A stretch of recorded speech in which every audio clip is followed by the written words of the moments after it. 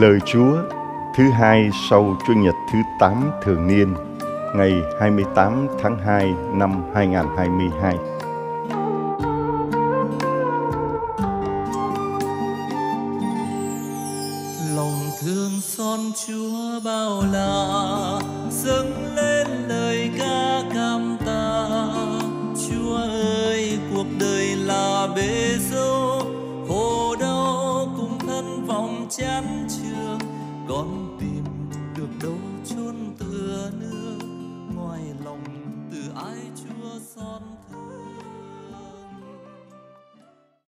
Lời Chúa thứ hai sau Chủ nhật thứ 8 thường niên ngày 28 tháng 2 năm 2022.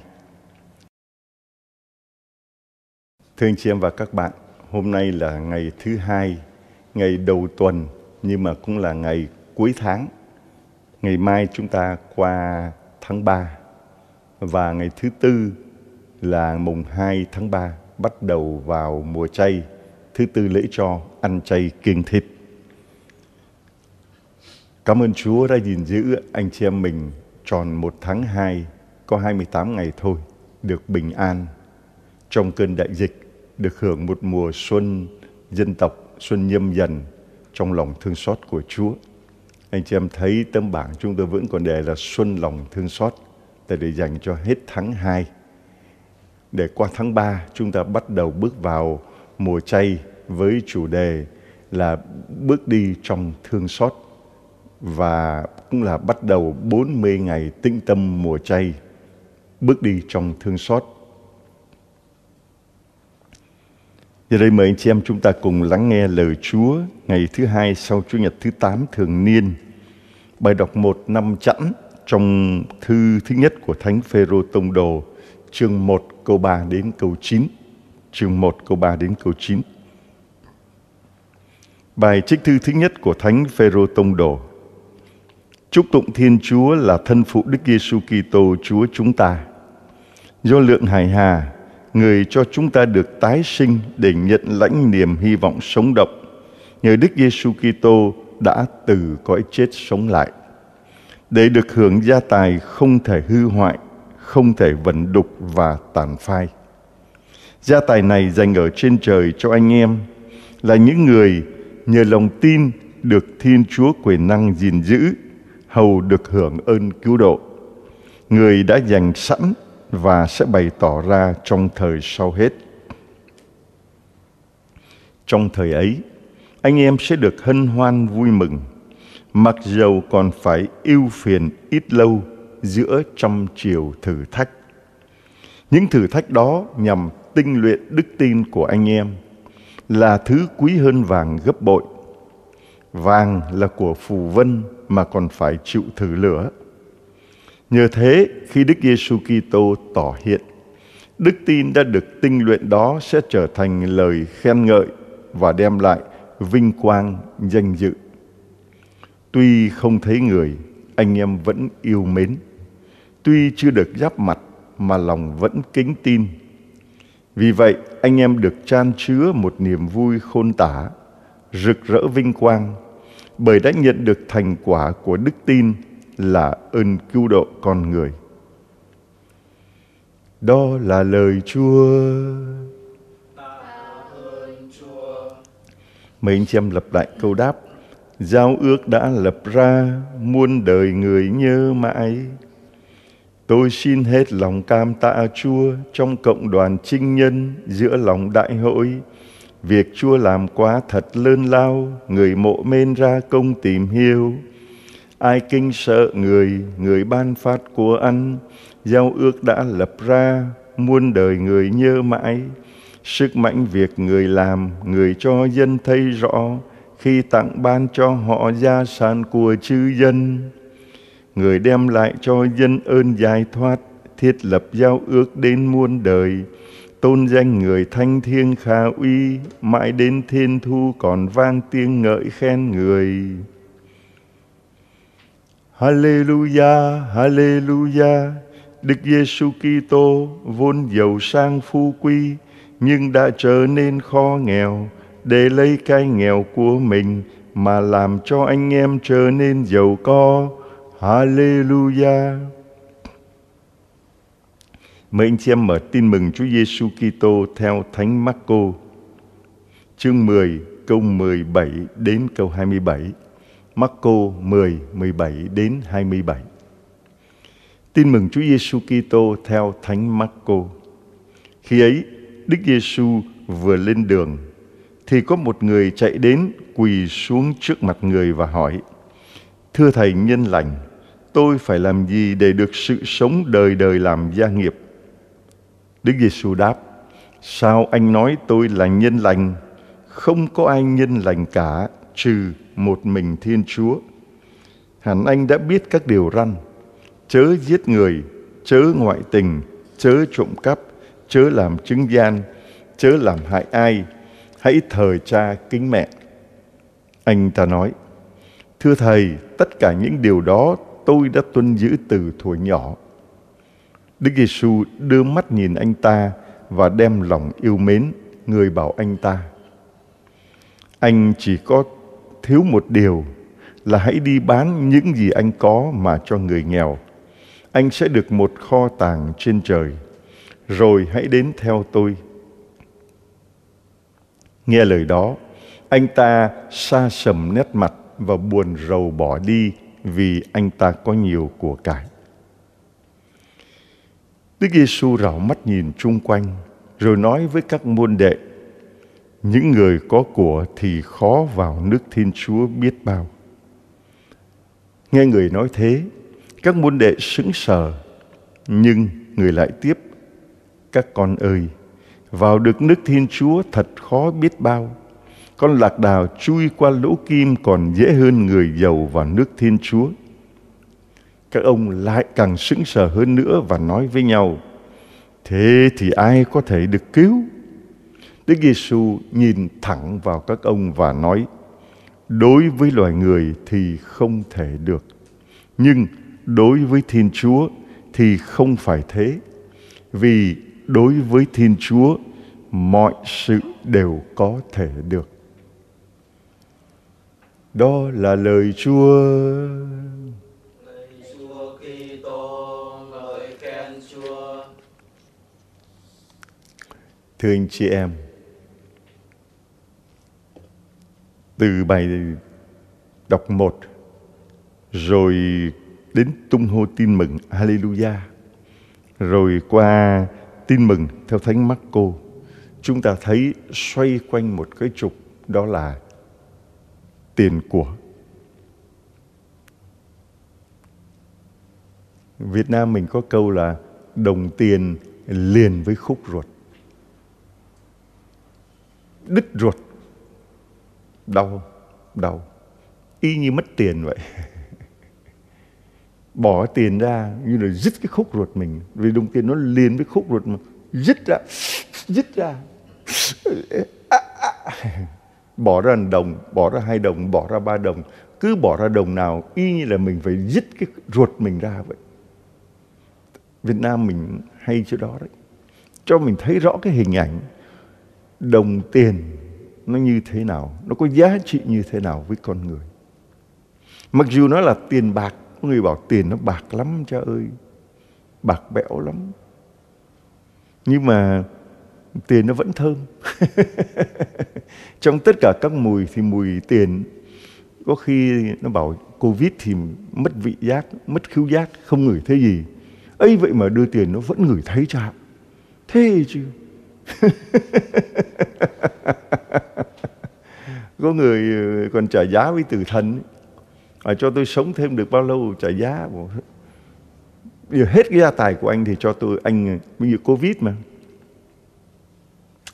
thì uh, từ thân mới đến covid rồi lúc đó là chưa có chích ngừa không có sống được nữa đâu ba ngày cho đến tuần. Ông cho tôi sống thêm năm nữa rồi tôi trả cho ông bao nhiêu? Cả gia tài của người đưa đây một năm nữa. Rồi cả gia tài sống thêm một năm nữa hả ông? Đúng rồi. Ông có bớt được không? Nửa đi tôi vất vả cả đời sống thêm năm nữa mà mất hết gia tài này. Tôi ông để tôi nửa đi. Không được. Tôi thì ông cho hai phần ba đi. Không được. Người mất mất hết cả gia tài. Đúng mất hết gia tài. Vậy chết sướng hơn. Tử thần cười. À, à, à, chết sướng hơn. Nó khủng khiếp như vậy thưa anh chị em. Cái mùi của đồng tiền gọi là mãnh lực đồng tiền. Hồi xưa có bộ phim mãnh lực đồng tiền. Ai muốn ờ, biết nó như thế nào thì về mở, đánh chữ mãnh lực đồng tiền để coi cái bộ phim nó nói như thế nào. Về cái sức hút kỳ lạ, kỳ diệu của đồng tiền. Mà không ai thoát được. Có người bảo, vậy thì thưa cha, những người giàu họ thoát được chứ? Tại vì họ đã quen rồi. Nó quen có khi nó còn nghiền nữa chứ. Những người mà quen hút thuốc rồi là nghiền thuốc tại vì quen mà càng ngày nó càng lên đô chứ đâu phải nó bớt đi. Anh uống rượu cũng vậy, phải không? Tôi uống trà cũng vậy. Hồi xưa uống nước trà bột đắng. Đắng quá. Mà uống riết. Trà gì mà nhạt thế này này? Bảo thứ cha trà thì con uống đến chát. Ui nhạt lắm. Cái này đô cha lên cao. Chứ còn gì nữa. 15 năm, 14 năm đi lòng thương xót Chúa uống trà thay ừ, nước lã mà mình không không ấy được. Nó lên nó lên cơn rồi. Nó đậm đặc hơn. Chứ đâu phải là mình bảo là mình quen uống trà rồi thì là nó sẽ ừ, không còn nghiền nữa. Càng quen thì càng nghiền. Cho nên mới có mấy ông đại gia đấy. Đại gia giàu nứt vách đổ tường. Có tiền thì sinh tật thôi. Kiếm những người đẹp chân dài. Hết người chân dài này đến chân dài khác. Bảo ông có chán chưa? Hết ừ, báo chí đăng ông, hết cô này. Ông 72 mà lấy cô 27 tuổi rồi, ông đã chán chưa? Bảo chưa. Vẫn chưa chán. Vẫn hết cô này đi thì lại cô khác tới. Bảo sao vậy? Nó ghiền nổi, chịu không nổi. Bảo khi nào thì ông mới hết. Bảo không biết chết thì biết nó hết chưa? Chưa hết vì con cháu còn thương đại gia cho nên là mua thêm mấy hình nộm, mấy cô chân dài đốt để đưa xuống hầu hạ đại gia ở bên kia thế giới. Gươm sao? Cho nên cái gì cũng vậy. Riết rồi nó ghiền riết rồi nó ghiền cho nên khi mà đã ghiền rồi, khó bỏ lắm. Cái anh chàng mà đến với Đức Giêsu ngày hôm nay, thưa thầy nhân lành, tôi phải làm gì để được sự sống đời đời làm gia nghiệp? Đi tìm sự sống đời đời làm gia nghiệp, nói rất hay. Sự sống đời đời và gia nghiệp. Thường người ta đi làm, gọi là, lập nghiệp thì chỉ tìm được giàu có đời này thôi chứ, đúng không? Anh từ ngoài bắc anh vào trong nam này, anh đi lập nghiệp. Giờ anh bảo con có cơ nghiệp rồi và cơ nghiệp là gì? Thứ cha, con có nhà cao, có cửa rộng, có vợ đẹp, có con khôn, có nhà lầu, có xe hơi. Đây là gia nghiệp, đây là cơ nghiệp của con rồi. Anh à anh đi tìm, con có, anh còn thắc mắc gì nữa? Thứ cha, đầy đủ hết rồi. Bây giờ anh còn có mấy ờ, cái biệt phủ ở đảo Kim Cương rồi đảo Phú Quốc rồi ờ, mua mấy cái resort cái thứ nhiều lắm đếm không hết, không xuể. Như là Vingroup rồi là chuyện nhỏ nổ. Thế thì bây giờ anh còn muốn gì nữa? Con muốn cái gì mà nó là phải đời đời cơ? Muốn ờ, một gia nghiệp đời đời cơ? Chứ còn đời này thì nó cũng hết thôi, con muốn gia nghiệp đời đời. Anh muốn thật hay không? Thứ cha con đang khao khát con đang muốn doanh nghiệp đời đời. Được. Nghe. Nghe đây. Chú ý nghe tôi nói này đời muốn gì? Muốn gia nghiệp đời đời phải không? Nghe rõ nha. Muốn gia nghiệp đời đời thì anh bỏ hết tất cả sản nghiệp anh đang có đời này đi. Xỉu. Nghe vậy là xỉu liền. Ơ kia sao vậy? Anh đã bảo đi tìm cái đời đời. Mà cách duy nhất để tìm cái đời đời là bỏ cái đời này. Hết, không cách nào khác. Không cách nào khác. Bỏ cái đời này thì được cái đời đời. Sao khó vậy? Đời đời mà chứ đâu phải chuyện đời này đâu. Anh đời này, anh lập nghiệp được cái gia nghiệp này có khó không? Trả lời đi thưa cha ngay từ bé con phải uh, làm 10 năm ở dưới thuyền rồi con phải đi uh, hò gò hàn rồi con phải ăn ừ, nằm gai nếp mật đủ thứ chất chiêu chất bóp lắm vất vả đủ thứ hết khổ cực vô cùng mới có được cái ngày hôm nay. Mồ hôi nước mắt có được ngày hôm nay. Cho những cái này con quý lắm vì nó là mồ hôi nước mắt của con. À, rồi sao nữa?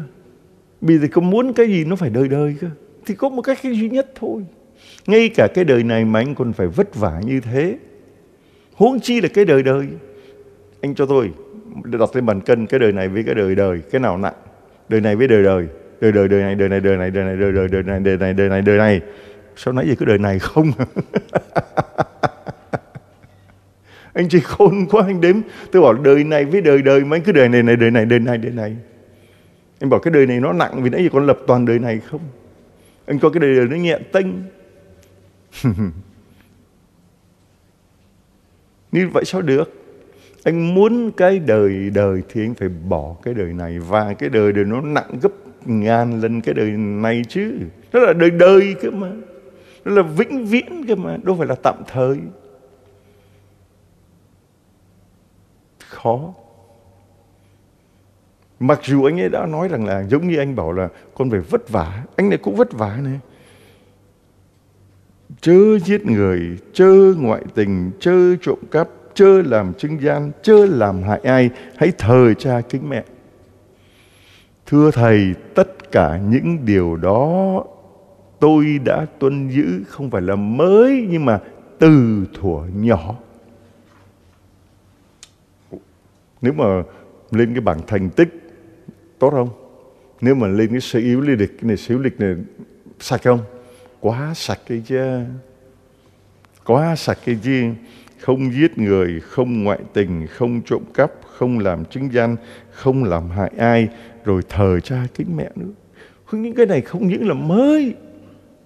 Không phải mới hoan cải mà làm từ nhỏ. Và ai cũng nghĩ rằng là như vậy là ngon rồi. Lên thiên đàng chắc chắc như bắp. Như thiên đàng chắc như bắp. Nếu mà như vậy thì giá trị của đời đời cũng chẳng hơn gì cái đạo khác. Tôi bảo cũng ăn ngay ở lành thôi đạo nào cũng ăn ngay ở lành thôi tôi cũng ăn ngay ở lành thôi đạo nào cũng vậy thôi. Ồ oh, khác khác khác khác chứ khác cái chỗ này. Anh chỉ còn thiếu một điều thôi thiếu một điều thôi tử huyệt của anh là nằm ở chỗ này này. Mỗi người chúng ta có một cái tử huyệt. Mỗi người chúng ta có một cái điểm gọi là trọng yếu. Mà đánh vào cái trọng yếu đó, giết được cái trọng yếu đó đó, là một là thắng hay là thua đó. thành bại là cái chỗ này. Giống như mình đi đánh trận, đánh được nhiều vị trí rồi, nhưng mà chiếm được cái vị trí trọng yếu kia kìa, thì chắc chắn là mới thắng được. Còn đánh các mặt trận khác loanh quanh loanh quanh, không ăn thua gì, đánh đúng vào cái huyệt. Giống như hai người lên đài, đấu võ, đấm đá rầm rõ hết chẳng ăn thua gì. Đấm nó cứ đỡ, huỳnh huỳnh huỳnh huỳnh huỳnh. Nó chịu đòn. Cuối cùng nhắm đúng vào một cái huyệt, một cái đá hoặc một cú đấm thôi. Địch thủ nằm xuống. Vì đã trúng đúng cái điểm yếu cái huyệt đó. Thế thì Chúa nhìn thấy rõ mỗi người có cái điểm mà Chúa cần cái đó. Cái dấu chỉ của sự tín thác nằm ở chỗ này đây. Người thì cái này, người thì nọ, nghĩ kia đối với người thanh niên và có lẽ hầu hết mọi người chúng ta đều ở cái điểm này. Vì lúc nãy ta nói là đồng tiền nó liền với khúc ruột. Dứt cái đó ra. Anh chỉ thiếu có một điều thôi, đó là hãy đi bán tất cả những gì anh có mà cho người nghèo. Nếu như vậy thì lỗ quá. Nếu mà tính toán lỗ quá, Chúa cũng tâm lý lắm mà nha. Chúa cũng công bằng lắm mà nha. chúa không đòi hỏi cái gì quá sức chịu đựng của con người. Bán tất cả những gì anh có mà cho người nghèo anh sẽ được một kho tàng trên trời bán cái đời này để có cái đời đời. Bán cái kho tàng mà anh có để có một kho tàng trên trời, một kho tàng trên trời. Còn đây chỉ là cái gia nghiệp, cơ nghiệp của anh thôi. Nó còn lớn bằng gấp mấy cái cơ nghiệp của anh, nó cả một kho tàng. Mà nói là trên trời cơ mà. rồi hãy đến theo tôi. Rồi hãy đến mà theo tôi anh dám không? Lòng tín thác là chỗ này. Tín thác vào quyền năng của chúa. Chúa có thể làm được một cái chuyện mà cả đời tôi vất vả để có cái này. Nhưng mà chúa có thể làm được cái chuyện là cái này là gì so với cái đời đời? Gia nghiệp này là gì so với cả cái kho tàng? Nếu mà tôi tín thác vào chúa là tôi dám buông bỏ cái này đây. Cái mà nếu mà buông bỏ người ta sẽ bảo tôi khùng. Cái mà buông bỏ người ta sẽ bảo là điên, là mát, là khờ, là dại. Nhưng mà cái khờ, cái dại trước mắt thế gian lại là sự khôn ngoan trước mặt thiên chúa. Còn cái mà thế gian cho là khôn ngoan cái này làm ăn khá, nó mánh mung, nó khôn ngoan, nó chất bóp, nó keo kiệt, nó hà tiện mà nó có tiền, có của để dành để dụng tiểu của để ở đây. Nó là khôn ngoan. Giêsu cái ông lòng khờ như ma vậy.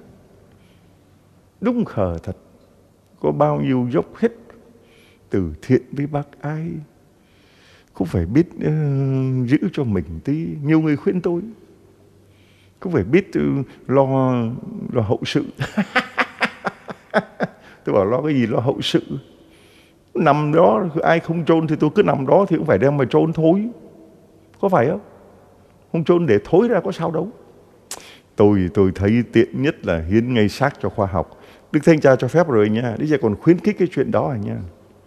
Khuyến khích cái chuyện là hiến xác cho khoa học. Tôi xin tình nguyện làm chuyện đó. Khỏi phiền toái ai. Nhắm mắt nằm xuống.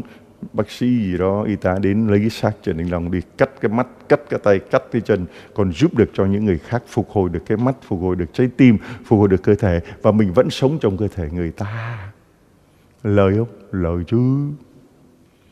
Để làm đám tang đám ma tốn kém con cháu nó phiền toái chết mà cũng làm khổ hàng xóm nữa. Trông kèn suốt rồi, ừ, rồi rạp giết rồi dựng chắn hết đường giao thông. Rồi đám tang gì ừ, ừ, không cho ai vào trong cả nhà thờ nó chật hết chỗ. Rồi là mấy người đi thu dọn nghĩa trang nó còn chửi cho chết thì còn cũng làm phiền người khác nữa. Cả trăm vòng hoa để đấy làm cái gì? Vá vư vẩn. Chết cũng không yên. Thì thưa anh chị em đây được cái gì đâu. Tôi thấy ờ, nhiều gia đình quay video cho nhiều vào. Chưa bao giờ mở lại coi một lần. Cả hình ảnh vậy chụp cho lắm vào. Thì xuống anh chị em nghĩ thử coi mình đang vui vẻ về quay lại đám tang thì nó buồn lắm. Coi những hình ảnh, những người đẹp rồi, hoa hậu còn thấy sướng mắt, chứ coi những người chết nằm đây rồi thì người chua thủi nó bưng thôi, làm cho nó có vậy thôi, để khoe với người ta là có quay phim, có chụp hình thôi. Đó không có cho người ta cũng chẳng thèm. Mà có đám đâu Giêsu người ta đang coi về bảo sao vậy chả? Coi đông lắm sao coi bán vé ai vào coi nó cho mỗi người thì, thì, thì 500 ngàn vô coi. Coi xong lại lấy cái kia quay phim tiếp. Là chứng tỏ rằng người ta còn coi đám tang. Mà toàn những đứa này đứa nghèo nó mỗi đứa 500 ngàn vui nó coi đấy trai có ai muốn coi đâu. Còn con cháu đang nhậu trong kia kìa. Đấy thưa anh chị em. Mỗi người chúng ta có một điểm mà Chúa nói phải bỏ. Anh anh đang đam mê kiếm tiền. Anh phải ngưng cái chuyện kiếm tiền. Khó lắm. Anh đang ờ, đam mê âm nhạc. Phải ngưng cái đam mê âm nhạc đó. Khó. Chị đang mê nấu ăn có những người rất rất là mê nấu ăn. Hay là người mê cắm hoa. Những cái mà mình đam mê nhất, chú bảo, bỏ cái đó đi. Đó là cái khó nhất. Mà một trong những cái đam mê là đam mê tiền. Không ai thoát được đi tu cũng chẳng thoát được. Thậm chí mà đi tu mà còn nói là gì đó uhm, có thật mới vực được đạo. Dám nói câu đó. Có thật mới vực được đạo. Nhưng mà chúng ta nhìn thử coi những nước giàu có những nhà um, giàu có vực được đạo không? Lại là những nước mà bỏ đạo trước. Hmm? Nghèo khổ, chúng tôi đến ờ, đi công tác bác ái đó, đến những người dân tộc nghèo. Mà họ lần Chúa lòng thương cho Chúa sốt sáng lắm, thưa anh chị em. Mà về thành phố đi ba giờ chiều chẳng thấy đâu lần chuỗi cả. Hiếm lắm. Và ngày chủ nhật họ đi bộ cả hai ba chục cây số, có khi đi từ chiều thứ bảy để đến. Rồi chủ nhật đi dân lễ xong rồi đi bộ về. Mà họ vẫn sốt sáng. Họ đâu có thực mà họ vẫn vực được đạo có nhiều nhà thờ xây thật to xong rồi cùng không có ai đi lễ bên Âu Châu, bên Mỹ chẳng hạn. Phải bán thống bán táng đi. Nhiều nhà dòng cũng phải bán đi. Nhà dòng chúng tôi ở xưa cũng phải bán đi. Người ta làm khách sạn. Cứ bảo có thực mới vực được đạo. Anh chị em thấy không ạ? Vậy thì cái điểm mà anh ta đáp lại là cái gì? Nghe lời đó, anh ta xa sầm nét mặt và buồn rầu bỏ đi vì anh ta có nhiều của cải. Vì có nhiều của cải. Chú buồn không? Buồn hơn đấy chứ. Nhưng mà Chúa có lôi anh ta lại không? Không lôi. Vì có lôi lại cũng không ăn thua gì. Giữ người ở chứ sao giữ người đi. Mà có giữ anh ta lại thì chỉ giữ được cái thân xác thôi. Còn linh hồn anh ta vẫn là tôn thờ tiền của chứ không phải tôn thờ Thiên Chúa. Thôi để anh đi. Tôi biết đâu một lúc nào đó anh ta quay lại. Cha giờ nó quay lại rồi cha. Nào cái đại gia đó đó hôm mà nó nó xách cà, cả táp đến ờ, rồi đi ờ, xe hơi đó. Mà cha nói là đến vô cầu nguyện đồng chúa chúa nó bảo còn đang bận làm ăn nọ kia đó. Bìa quay lại rồi cha. Sao vậy? Sao quay lại vậy? Chà, bị phá sản rồi. Thị trường chứng khoán của nó cháy rồi. Không còn cái gì nữa quay lại bám vào Chúa thôi. Lại giang tay cầu cùng Chúa giữa đêm trường. Đấy thưa anh chị em. Thực tế mình nhìn chung quanh đi. Đếm những người đi tham dự thánh lễ coi bao nhiêu người nghèo bao nhiêu người giàu. Phải không? Đếm thử coi. Đức Giêsu rảo mắt nhìn chung quanh rồi nói với các môn đệ một cái thực tế là những người có của thì khó vào nước Thiên Chúa biết bao. Nghe những lời ấy, môn đệ sững sờ. Chúa Giêsu lại nói tiếp. Các con ơi, vào được nước Thiên Chúa khó biết bao con lạc đào chui qua lỗ kim còn dễ hơn người giàu vào nước Thiên Chúa. Các môn đệ lại sững sờ hơn nữa. Và nói với nhau thì, vậy thì ai mà được cứu? Các môn đệ cũng tự vạch áo cho người xem lưng thầy, con cũng thế. Ai mà được cứu? Tại vì nếu mà các ông thực sự mà đi theo Chúa mà bỏ hết mọi sự theo Chúa hoàn toàn rồi đó, không còn bị thì ông phải biết rằng mình là người được cứu chứ. Tại sao hỏi là, vậy thì ai được cứu? Nghĩa là không ai được cứu cả, vì ai cũng ham tiền. Đúng không ạ? Các môn đệ sững sờ hơn nữa vậy mình cũng vậy sao sao được cứu đây Tại vì sao ta thấy bỏ mọi sự mà đi theo thầy mà vẫn tranh giành chỗ nhất chỗ nhì đấy. Một đứa bên tả, đứa bên hữu công kia bảo mày ngon à mày. Bộ ngon hả? Tranh giành nhau. Cho nên câu kết này là anh chị em nắm câu này mới là tuyệt vời. Những cái kia mình quên đi đi. Những cái kia là chuyện con người, chuyện thế gian thực tế quên đi. Chẳng cần nhớ nữa. Nãy giờ tôi nói chuyện quên đi mà nhớ câu này. Câu này. Đối với loài người thì không thể được. Nhưng đối với thiên chúa không phải thế. Đối với thiên chúa mọi sự đều có thể. Trong kinh magnificat Đức mẹ nói linh hồn tôi tung hô Chúa. Khi mà Đức mẹ nói với thiên thần được truyền tin, việc đó xảy đến thế nào? Vì tôi giữ mình đồng trinh. Đối với Thiên Chúa, mọi sự đều có thể. Vâng này tôi là tôi tớ Chúa, tôi xin vâng. Đức mẹ tin vào quyền năng lòng thương xót Chúa. Đối với Chúa, mọi sự đều có thể. Đó là quyền năng lòng thương xót Chúa. Francisco rất giàu có. Cả một gia tài, cả một tương lai. ấy thế mà chút bỏ hết tất cả. Ngay cả cái mảnh áo cuối cùng cũng trả lại cho cha của mình vì gia đình phản đối không cho Francisco đi tu kiểu này. Phải tiếp tục con đường sự nghiệp công danh nối tiếp gia đình đang để lại. Francisco không đi theo Chúa. Và đi theo Chúa chút bỏ hết tất cả để trở thành một người hành khất đang ở đỉnh cao mà đi xuống tận vực thẳm.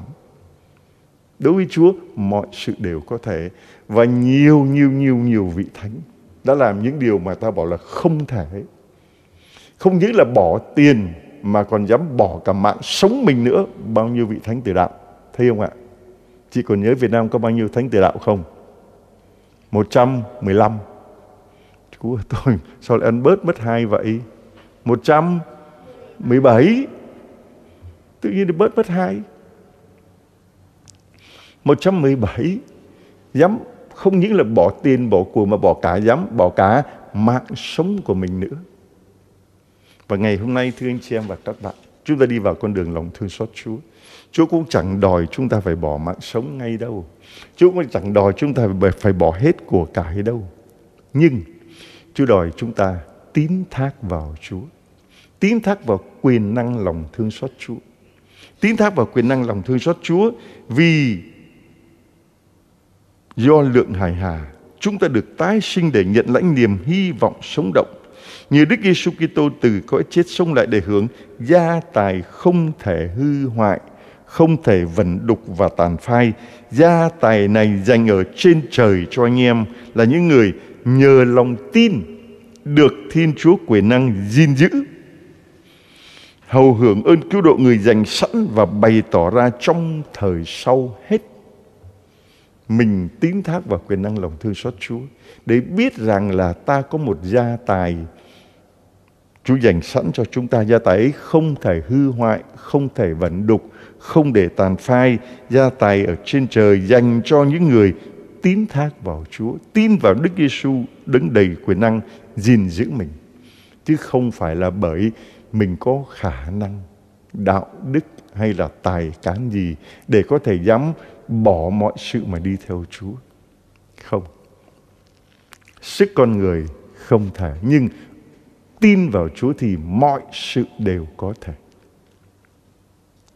Trong thời ấy, anh em sẽ được hân hoan vui mừng, mặc dầu còn phải yêu phiền ít lâu giữa trăm, trăm triệu thử thách. Bây giờ đây đi vào con đường lòng thương xót Chúa, con đường thập giá, con đường đau khổ, còn trăm triệu thử thách. Nhưng vẫn là cái tạm thời so với cái đời đời. Vẫn là cái nhất thời so với cái vĩnh cửu. Những đau khổ thử thách đời này sánh gì với vinh quang mà chúng ta được tin chắc chắn như vậy đi thưa anh chị em để trong gian chuân trong đau khổ thử thách trong gian chuân tôi đã kêu cầu và Chúa đã đáp lời tôi từ vực sâu tôi nài van Chúa và Chúa đã nghe tiếng tôi. Trong đau khổ, trong thử thách, trong gian chuân những thử thách đó để tinh luyện đức tin của anh em là thứ quý hơn vàng gấp bội. Vàng là của phù huynh mà còn phải chịu thử lửa thì đức tin của chúng ta cũng phải chịu thử thách trăm chiều để đức tin mình tinh rộng. Nhưng chị em đi vào con đường lòng thương xót Chúa ngày hôm nay Hãy vững tin. Đức tin được tinh luyện sẽ trở thành lời khen ngợi đem lại vinh quang danh dự. Hiện thời không thấy Chúa, anh em vẫn yêu mến. Tuy chưa được giáp mặt mà vẫn kính tin. Vì vậy anh em được chan chứa một niềm vui khôn tả, rực rỡ vinh quang bởi nhận được thành quả của đức tin là ơn cứu độ con người. Tất cả là do lòng tin xin Chúa cho con được tín thác tuyệt đối vào Chúa. Đức tin của con trải qua bao nhiêu thử thách thì càng chứng tỏ đức tin ấy tinh tuyển để con nắm chắc phần thưởng đời đời dành cho những người chọn niềm tín thác vào quyền năng lòng thương xót Chúa. Mời anh chị em cùng đọc kinh thức lễ thiêng liêng. Lạy Đức Chúa Giêsu, con tin thật Chúa ngự trong phép mình thanh. Con kinh mến Chúa trên hết mọi sự, cùng ước ao chịu lấy Chúa trong linh hồn con. Song lẽ bây giờ con chẳng có thế mà chịu Chúa cho thật được, thì xin Chúa ngự vào linh hồn con cách thiêng liêng vậy chẳng khác gì như Chúa đã ngự vào thật, thì con xin ẵm lấy, cùng hợp làm một cùng Chúa cho chọn. Xin Chúa chớ để cho con lìa bỏ Chúa bao giờ. Amen. Chúa ở cùng anh chị em. Xin Thiên Chúa toàn năng là Cha và Con và Thanh Thần ban phúc lành cho anh chị em. Amen. Chúc anh chị em luôn được bình an. Amen.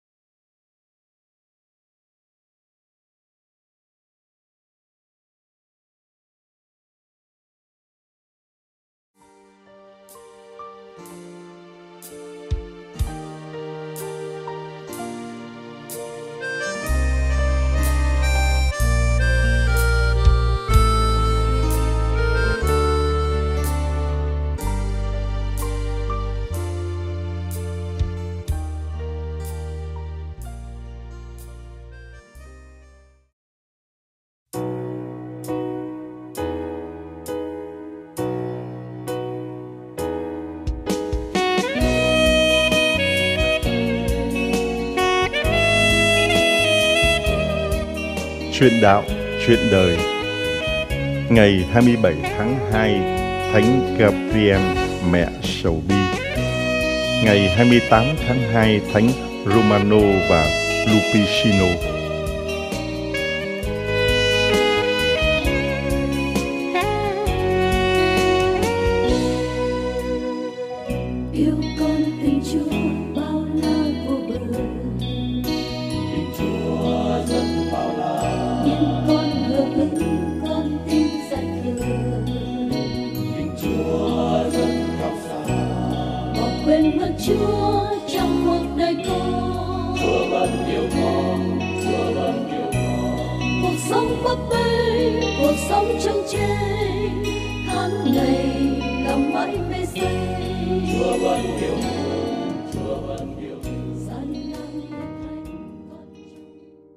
Chuyện đạo, chuyện đời. Ngày 27 tháng 2 Thánh Gabriel mẹ sầu bi. Ngày 28 tháng 2 Thánh Romano và Lupicino. Ngày 27 tháng 2 Thánh Gabriel mẹ sầu bi. Vị thánh đáng yêu này sinh ở Assisio, nước Ý vào năm 1838.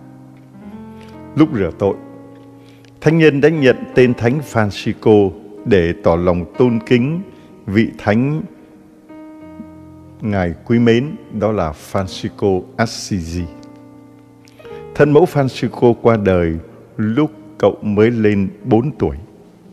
Vì vậy, thân phụ của Francisco đã thuê một cô giáo dạy trẻ về nuôi dưỡng cậu và những người con khác. Francisco rất đẹp trai và dễ thương. Thông thường tại các đám tiệc liên hoan, Francisco là người được hâm mộ nhất. Francisco yêu thích trò vui đùa diễu cợt, nhưng Ngài cũng có tâm tưởng khác nữa. Đang khi vui vẻ, thỉnh thoảng Francisco, Francisco cảm thấy chán nản, cảm thấy vô nghĩa, vô vị. Những cuộc vui không đem lại cho Francisco niềm vui đích thực. Và cậu không thể hiểu được lý do là tại sao. Cậu linh cảm thấy rằng là trong mình có một sự khao khát Thiên Chúa cách mãnh liệt và quan tâm đến những vấn đề quan yếu của cuộc sống. Hai lần Hai lần Francisco bị bệnh gần chết. Mỗi lần, Francisco hứa với Đức Mẹ rằng nếu Đức Mẹ chữa cho khỏi thì sẽ đi tu. Mà cả hai lần Francisco đều được ơn lành bệnh nhưng không giữ lời hứa. Một ngày kia, Francisco nhìn thấy người ta đang kiệu bức ảnh Đức Mẹ sầu bi trong một đám rước. Hình như Đức Mẹ đang chăm chú nhìn Ngài. Cùng lúc đó, Francisco nghe thấy một tiếng nói trong lòng. Francisco, thế gian không ủng hộ con nữa đâu. Và điều đó đã xảy ra. Francisco vào dòng thương khó. Lúc ấy, cậu đã được 18 tuổi và Francisco chọn danh hiệu là Gabriel mẹ sầu bi. Gabriel mẹ sầu bi có lòng yêu mến đặc biệt đối với bí tích thánh thể và Đức Mẹ, mẹ sầu bi. Thánh nhân thường dùng thời giờ để tưởng nghĩ về cuộc thương khó của Chúa Giêsu và việc Chúa Giêsu đã chịu đau khổ nhiều vì mình. Gabriel mẹ sầu bi cũng học cách thực hành đặc biệt là hai nhân đức, khiêm nhường và vâng phục. Đặc điểm riêng của Gabriel là hồn nhiên và vui tươi. Trong Gabriel luôn luôn hạnh phúc và Ngài lan tỏa niềm hạnh phúc ấy cho những người chung quanh. Thánh Gabriel mẹ Sobi được Chúa cất về ngày 27 tháng 2 năm 1862 lúc mới được 24 tuổi và chỉ sống được 4 năm trong dòng thương khó. Đến năm 1920, Gabriel được Đức Thánh Cha Benedicto thứ 15 tôn phong lên bậc hiển thánh. Thương chị em và các bạn, đặc biệt là các bạn trẻ. Nhiều người trẻ ngày hôm nay luôn luôn chủ trương rằng là sống vội và tận hưởng. Vì thế mà họ lao đầu vào những cuộc vui vô tiền khoáng hậu và những cuộc vui thâu đêm suốt sáng vào những cuộc ăn chơi chắc táng. Thánh Gabriel mẹ sầu bi cũng đã từng trải qua một thời tuổi trẻ như thế. Đặc biệt là đẹp trai và dễ thương. Rồi trong những cuộc liên hoan, những cuộc vui như thế thì thích trò đùa giễu cợt. Như chúng ta, như những bạn trẻ ngày hôm nay thôi. Thế nhưng mà có khi sau những cuộc vui ấy giống như bài hát gì? Rồi cuộc vui tàn, một mình bước đi, một mình tôi về. Nhiều nỗi đắng cay gì đó bài, và tình yêu đến cho tôi ngày mai đó. Và con tim đã vui trở lại. Cuộc vui về tràn ngập những chán nản, chán trường và tôi thấy chính bản thân mình cũng vậy có những cuộc vui, những cuộc liên hoan. Rồi về thấy nó vô vị, vô nghĩa. Ngày hôm nay nhìn trên mạng ta thấy người ta tổ chức cuộc sinh nhật chẳng hạn. Mà làm những cái cảnh như là thiên đàng. Tốn cả tiền hoa không cả bạc tỷ. Cái áo không cũng cả tỷ. Rồi món quà sinh nhật không cả mấy chục tỷ không biết rằng là sau những cuộc vui ấy có thấy chán trường không? Người ta tung hô, người ta ca tụng vì cái sự xa hoa, vì cái sự chơi mà để lấy tiếng. Rồi sau đó có thấy cuộc sống nó vô nghĩa, vô vị không? Nếu chỉ dừng lại ở đó. Rồi lại bữa tiệc khác những bữa tiệc khác. Các bạn trẻ thử suy nghĩ lại thử coi. Francisco Gabriel mẹ Sobi đã trải qua như thế. Và cuối cùng thấy rằng là trong tập trong sâu thẳm trái tim mình có một lời mời gọi, có một tiếng kêu gọi nào đó để tìm có ý nghĩa cuộc sống của mình là cái gì. Có những người nghèo khổ suốt ngày chỉ đi tìm tiền cũng không đánh mất ý nghĩa của cuộc sống rồi có những người có tiền rồi thì chỉ đi lo tiêu tiền thì cũng chẳng làm cho cuộc sống có ý nghĩa.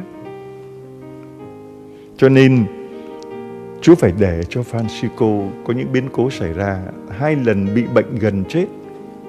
Lúc đó mình thấy rằng cuộc sống có nghĩa gì nữa đâu. Anh giàu, anh nghèo, hai người bị bệnh gần chết, thế cuộc sống ý nghĩa gì không? Anh giàu cũng thế mà anh nghèo cũng thế nghèo suốt ngày đi vất vả đi tìm tiền. Giàu suốt ngày vất vả đi tiêu tiền. Anh tìm tiền, anh tiêu tiền và cô kia thì suốt ngày giữ tiền. Không dám tiêu. Có tiền không dám tiêu. Tìm tiền, tiêu tiền, giữ tiền. Thế cuộc sống không nghĩa lý gì hết, cũng phải buông hết.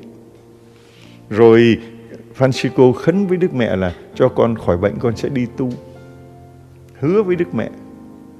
Có nhiều người đến cha cha cầu nguyện cho con con hứa là nếu mà con khỏi bệnh thì con sẽ xin được rửa tội, sẽ theo đạo. Tôi nói đừng hứa, đừng khấn gì trong cái chuyện này. Xin thì mình cứ xin, mình cờ đồ cầu thì cứ cầu. Và chỉ cần là xin cho con được vâng theo ý Chúa. Thế thôi. Xin cho con đón nhận mọi sự theo thánh ý Chúa, đừng theo ý con. Chứ đừng có hứa, khấn gì thế cha, nhà cửa con bị tranh chấp, bây giờ cho khấn cho con đòi lại con kiện 10 năm nay rồi. Con đòi lại con hứa là con sẽ chia một nửa để làm đền lòng thương xót. Thôi, đừng hứa.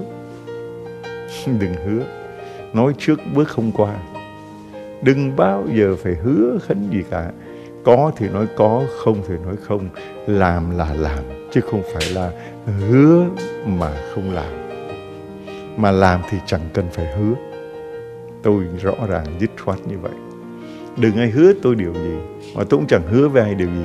Cha hứa là sáng năm cha sẽ qua mỹ, tôi chả hứa. Cha hứa cha sẽ ờ, đỡ đầu hay làm phép ờ, rửa tội cho con, tôi chẳng hứa. Biết sống được ngày mai đâu mà hứa với không hứa. Làm được thì làm, không làm được thì thôi. Cho nên anh chị em đừng đặt điều kiện mà hứa với Chúa khi mình khấn xin điều gì nha. Rõ không ạ? Chúa đâu cần, Đức mẹ ông đâu cần. Giống như là cuộc đổi trác như vậy. Mình làm cho tôi thì tôi mới làm cho anh. Ơn nhưng không mà đâu có phải là vì anh thế này vì thế kia mà Chúa ban. Vậy thì Chúa cũng tính qua tính lại, có qua có lại mới toại lòng nhau như người đời thế gian à. Vậy thì còn gì là lòng thương xót? Lòng thương xót là vô biên, là bao la, là cho không biếu không. Nhưng mà vấn đề là mình có tin tưởng hay không để mình được ơn. Mà cho dẫu không giữ lời hứa, lần thứ hai Đức mẹ vẫn ban ơn mà vẫn cứu sống mà. Thấy không? Gặp mình mà thôi lần trước tao cứu mày mày nói mày đi tu mà bây giờ mày vẫn cứ như cứ từ từ tà tà tà như thế này cứu cái gì đâu mà cứu cứu mày xong mày cũng có đi tu đâu. Đúng thật, cứu xong lần thứ hai nó vẫn không đi tu. Vậy mà làm thánh đấy. Làm thánh ở cái chỗ là được tiếng nói trong lòng. Francisco, thế gian không ủng hộ con nữa đâu. Giống như là thánh Francisco Assisi được lời lãi cả thế gian mà thiệt mất linh hồn thì ích gì. Cho nên là Francisco mới bỏ hết tất cả giàu sang phú quý, địa vị chức tước để đi theo Chúa, chân đất và hành khất thì thánh Gabriel, mẹ Sobi này cũng thấy bắt trước vị thánh bổn mạng của mình khiêm nhường và vâng phục và đặc điểm của Gabriel là hồn nhiên và vui tươi. Trông Gabriel luôn hạnh phúc và lan tỏa hạnh phúc ấy cho những người xung quanh. Đó.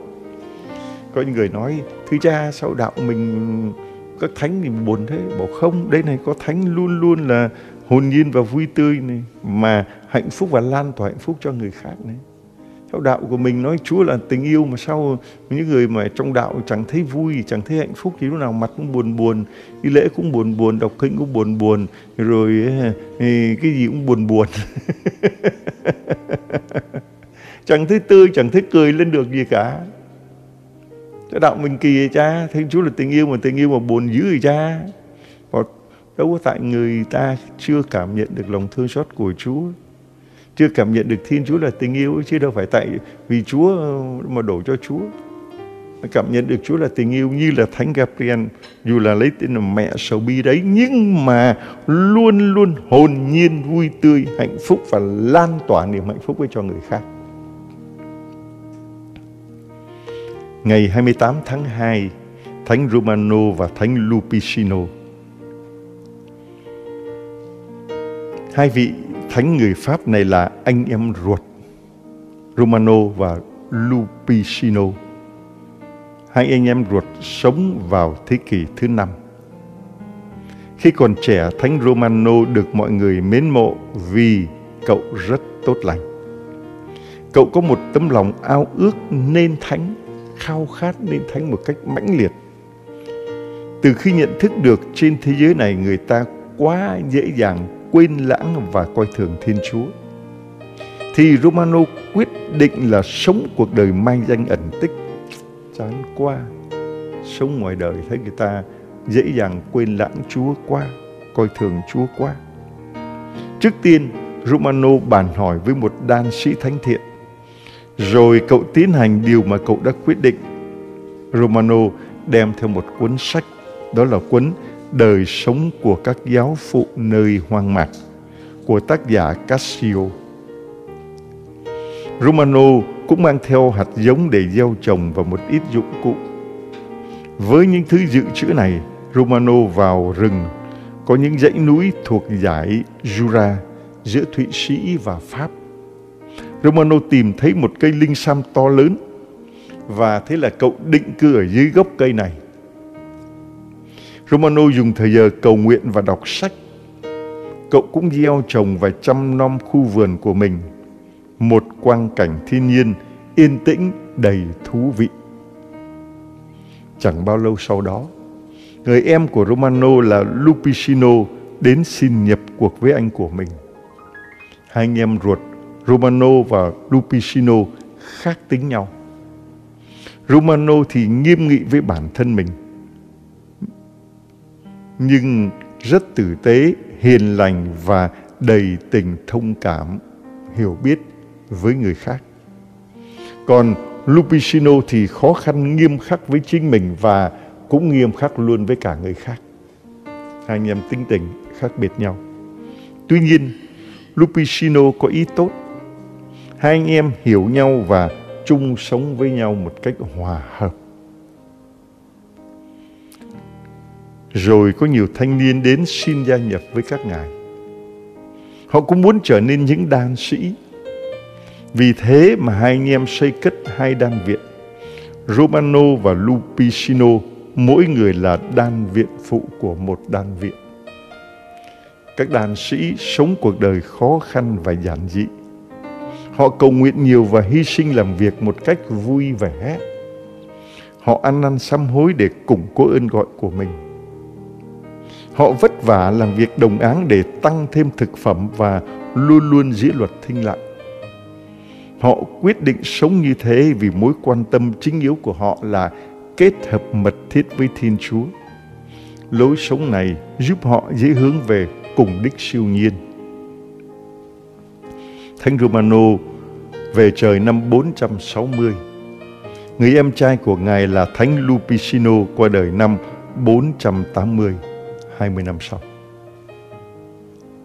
Thưa anh chị em và các bạn, Thánh Romano và Thánh Lupicino cả hai đều là những vị thánh anh em ruột dù rằng hai người có những cá tính khác nhau.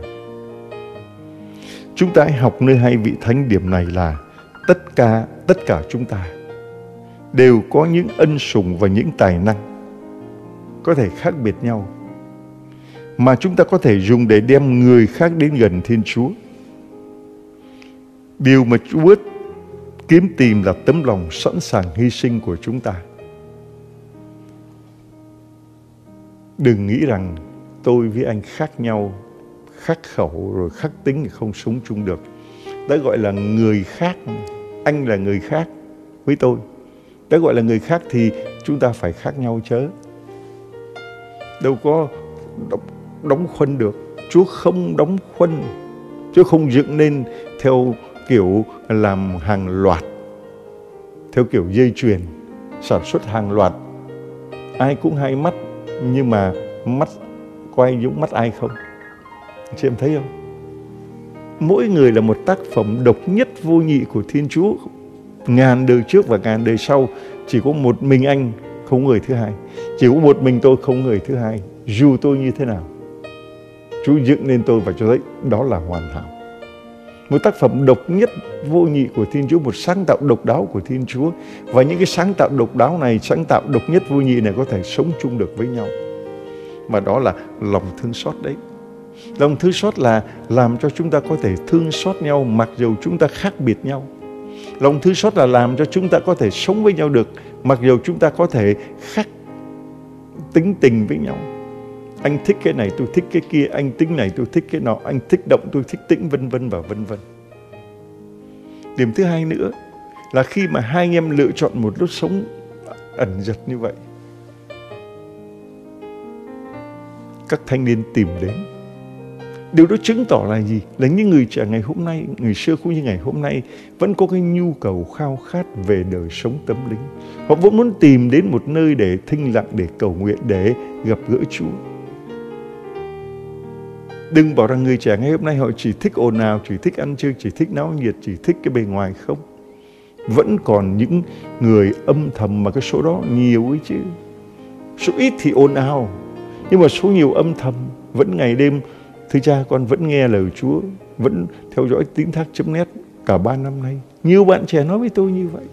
Nhiều bạn trẻ nói với tôi là thưa cha, con đang đọc cuốn thơ tình lòng thương xót và cha cho con thêm 50 cuốn nữa để con tặng cho các bạn khác các bạn cũng rất là muốn đấy khao khát thư tình lòng thư xót thưa anh chị em rồi có nhiều bạn trẻ nói thưa cha con đang làm trong bệnh viện cho máy lòng thư xót chú với bệnh nhân đi. Những bệnh nhân họ cần này hơn là cần cam cần bánh cần kẹo. Vì khi mà mình đau ốm bệnh tật rồi ăn uống có thiết gì nữa không? Của cải có thiết gì nữa không? Không cần gì. Cái mỗi họ cần là cái tâm linh cái đời sống rồi có những người khác nói thưa cha Mấy lòng thư xót còn không? Con xin chừng trăm cái để con đi vùng sâu vùng xa con phát. Nhiều người họ không đến nhà thờ được, không có phương tiện để mở web hay là lên mạng. Họ cần cái máy này. 10 ngàn cái máy này mới hôm Tết giờ có chưa được tháng, đã hết sạch rồi. Đang chờ 15 ngàn cái máy đi về. Mà tôi đặt tại chính cái hãng đó và hãng đó bảo là con chỉ sản xuất cho cha mà thôi mua dữ liệu, sở dĩ lâu là vì như thế cái thưa anh chị em, người ta đang có nhu cầu lắm và vì vậy mà chúng tôi đáp ứng nhu cầu tâm linh của những người trẻ.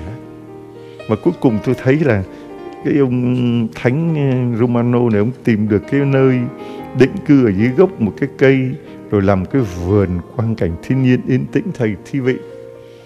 Bỗng ừ, nghĩ đến ốc đảo lòng thương xót. Có nhiều người cũng bảo, bao giờ cha? Bảo ừ, hỏi chúa hỏi tôi. Ở đâu cha? Hỏi chúa hỏi tôi. Như thế nào cha? Hỏi chúa hỏi tôi. nhưng mà mình ước mơ. Xin chúa thực hiện ước mơ đó để có một nơi cho người trẻ đến. Cầu nguyện, tĩnh lặng, một khu vực, một khu vườn lòng thư xót thật đẹp. Một ờ, vườn hòa giải để người ta đến ta sám hối. Một ờ, đồi tím hoa sim có cây thánh giá với những hoa tím như thế này, đồi tím hoa sim để người ta dục lòng sám hối và có chặng đường thánh giá 14 chặng mỗi chặng là một tiểu cảnh riêng với hoạt cảnh riêng để người ta suy niệm về cuộc thương khó của Chúa trong cái bối cảnh đó trong cái môi trường đó có nhà chầu thánh thể 24 trên 24 để người ta đến người ta nói chuyện thức với Chúa. Liên lỉ, không bao giờ đóng cửa và ngọn dầu đèn chầu không bao giờ tắt. Có nơi để người ta thực hành lòng thương xót Chúa. Có nơi để người ta khám bệnh phát thuốc miễn phí, để người ta uh, được chăm sóc những người già, những người tàn tật và nhất là những người tội lỗi xì ke, ma túy, đi điếm. Có nơi để họ đi về, về với lòng thương xót. Có khu vườn thật thơ mộng vô đó người ta cảm thấy êm ái, êm đềm, nhẹ nhàng, thanh thản, thảnh thơi và dìm mình vào trong đại dương, lòng Chúa thương xót. Cầu nguyện cho ước mơ ấy được trở thành hiện thực. Amen.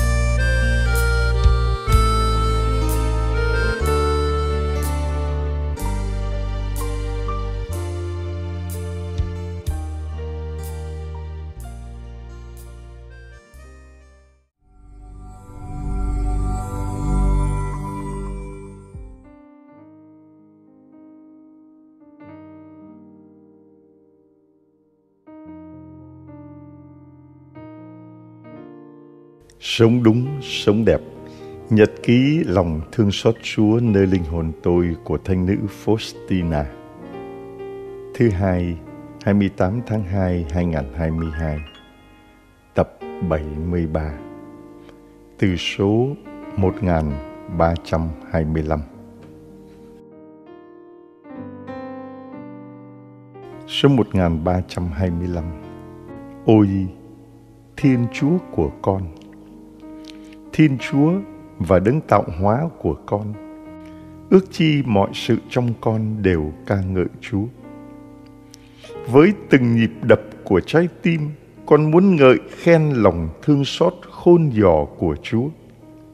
Con muốn nói cho các linh hồn biết về lòng thương xót của Chúa, lòng nhân lành của Chúa và khuyến khích họ hãy tín thác vào lòng thương xót của Chúa.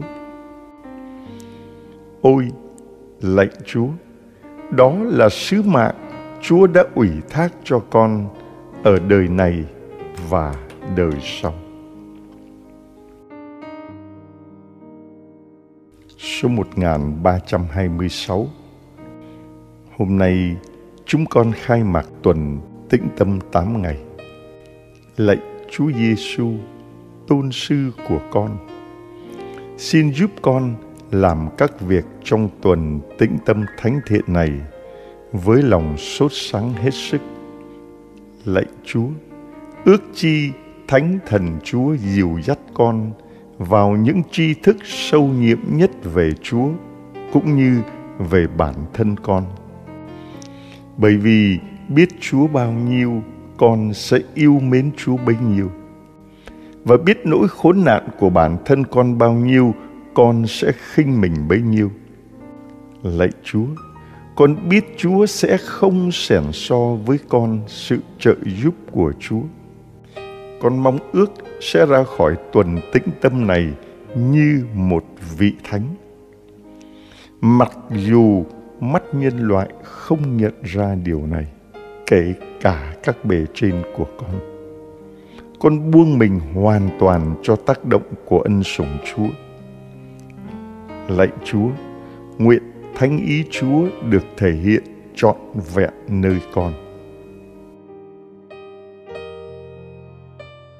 Số 1327 Ngày thứ nhất Chúa Giêsu phán Hỡi ái nữ của cha Tuần tĩnh tâm này sẽ là một cuộc chiêm niệm liên tục. Cha sẽ đưa con vào tuần phòng này như vào một bàn tiệc thiêng liêng. Sát bên trái tim từ ái cha, con sẽ suy ngẫm tất cả những hồng ân tâm hồn con đã được lãnh nhận. Và một niềm bình an sâu xa sẽ đồng hành với linh hồn con Cha muốn mắt linh hồn con hãy luôn nhìn cắm vào thánh ý cha. Bởi vì trên con đường ấy, con sẽ làm thỏa lòng cha nhất. Không hy sinh nào có thể sánh được với điều này. Trong tất cả những việc đạo đức, con hãy ở sát bên trái tim cha. Con đừng làm điều gì mới lạ, bởi vì cha sẽ an bài trọn vẹn cuộc đời con hợp theo ý cha. Vị linh mục giảng phòng sẽ không nói lời nào khiến con phải dao động đâu. Số 1328 Lạy Chúa Giêsu của con, con đã thực hiện hai bài nguyện gẫm và qua đó con nhận thấy tất cả những điều Chúa đã nói với con đều ứng nghiệm. Con đang được cảm nghiệm một niềm an bình sâu xa. Và niềm bình an này phát nguồn từ chứng cứ của lương tâm con. Lạy Chúa, đó là con luôn luôn thực thi thánh ý Chúa. số 1329 trong bài nguyện gẫm về mục đích đời người tôi hiểu ra chân lý này đã ăn rễ sâu trong linh hồn tôi và các việc của tôi nhờ đó mà được nên chọn lành hơn tôi biết vì sao tôi đã được tạo thành. Đối với tôi, dù mọi thụ tạo có hợp lại cũng không thể thế chỗ của đấng tạo hóa. Tôi biết Thiên Chúa là cứu cánh tối trung của tôi. Vì thế, trong mọi việc làm, tôi đều tưởng nghĩ đến người. Số 1330 Ôi, được tham dự một tuần tĩnh tâm kề bên trái tim ngọt ngào của Thiên Chúa. Thật tốt đẹp dường bao.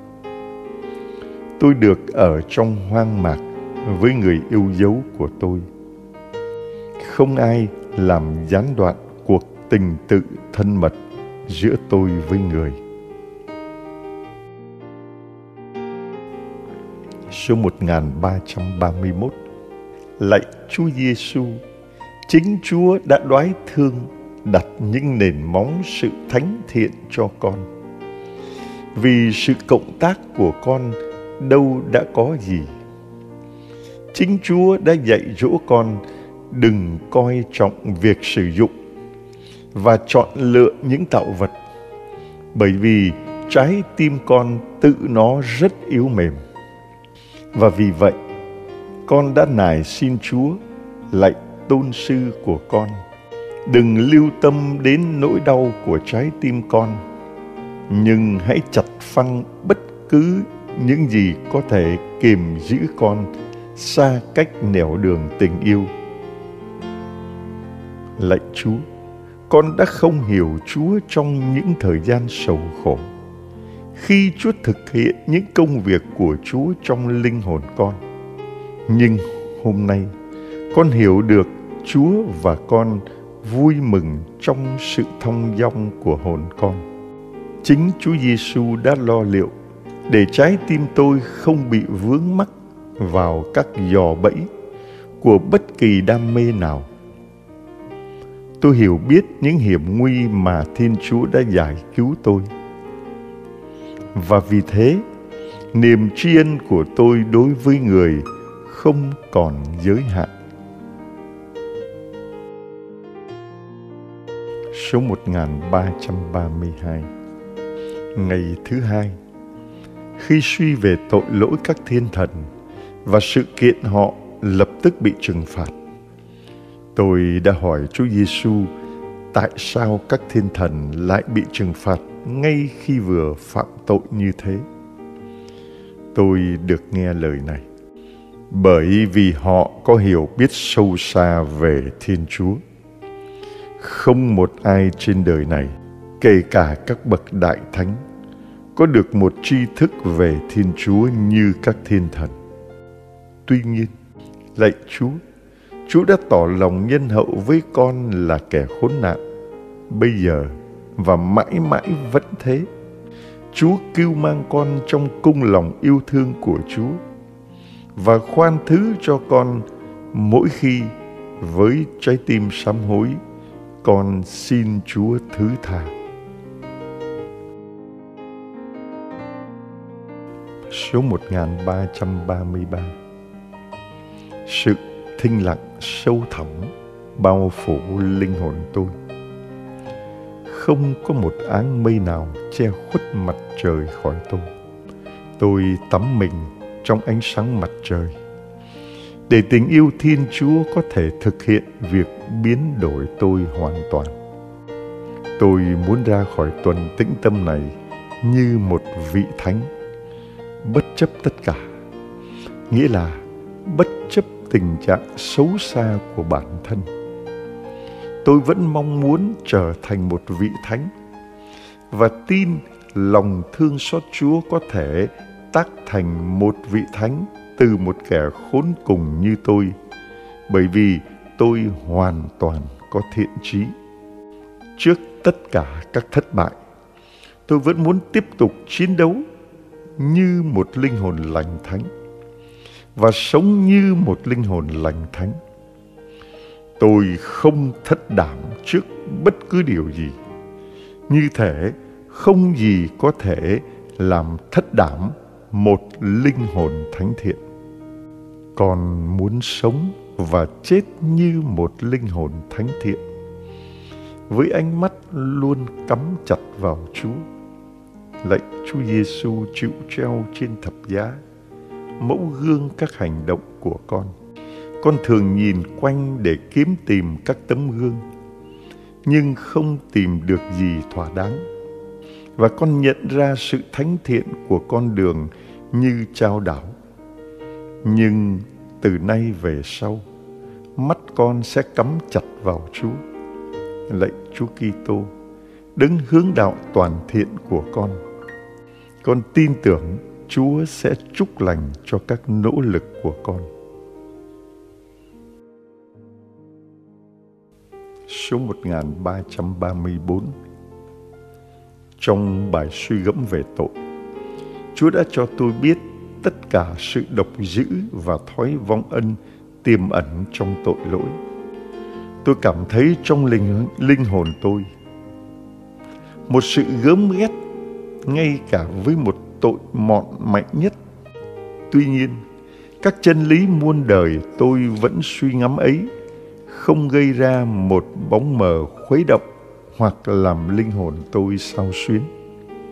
Mặc dù tôi ghi khắc những điều ấy vào lòng, nhưng cuộc chiêm ngắm của tôi không vì thế mà bị gián đoạn trong cuộc suy ngẫm này tôi không cảm nghiệm những xúc động mãnh liệt của tâm hồn, nhưng là một niềm an bình và thinh lặng sâu xa.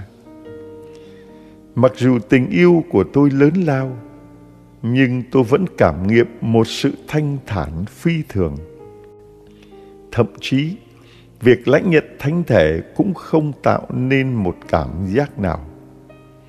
Nhưng đem tôi vào sự kết hợp.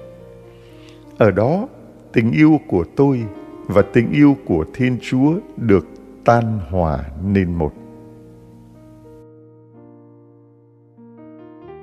Số 1335 Chúa Giêsu đã tỏ ý cho tôi hãy cầu nguyện cho các chị em đang tham dự tuần tĩnh tâm. Trong lúc cầu nguyện, tôi được biết về cuộc chiến đấu một số chị em đang trải qua và tôi gia tăng gấp đôi lời cầu nguyện cho họ. Số 1336 Trong sự thinh lặng sâu xa này, tôi có thể thẩm định tình trạng linh hồn mình được tốt hơn. Linh hồn tôi như một hồ nước trong vắt có thể nhìn thấu mọi sự trong đó cả nỗi khốn cùng của bản thân cũng như các ân sủng bao la của chúa. Nhờ tri thức xác thực về bản thân, tâm trí tôi được củng cố trong sự khiêm nhượng thẳm sâu con phó tâm hồn con cho tác động của ơn thánh chúa. Như pha lê dưới những tia sáng mặt trời, lạy chúa ước chi hình ảnh Chúa được phản chiếu trong đó. Đến tận mức độ khả dĩ đối với tâm hồn một thụ tạo. Ước chi thần tính Chúa rạng chiếu qua con. Ôi, lạy đấng đang ẩn ngự trong linh hồn con.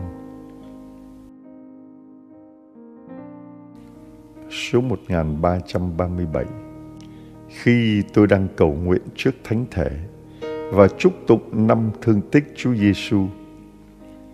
Mỗi lần chúc tụng, tôi cảm thấy một dòng thác ân sủng trào đổ vào linh hồn tôi.